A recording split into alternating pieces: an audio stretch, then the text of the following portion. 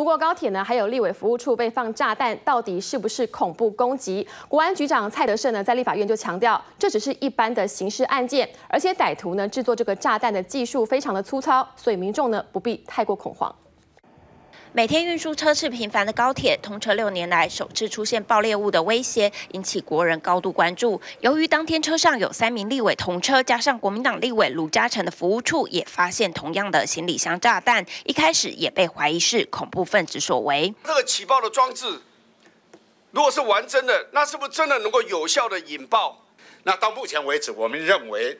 这个这个案子应该还是一个刑事案，而且这两个案子哈是相同的不法分子所为了。事实上，他的技术，这个做这个飞弹的人，这技术是不足的。管局表示，目前已和警政署成立专案小组调查，由于制作炸弹的手法粗糙，初步排除是恐怖事件。不过媒体报道资讯纷乱，众说纷纭，也有立委忧心可能会造成民众恐慌。我们现在在媒体上面看到这么多的消息。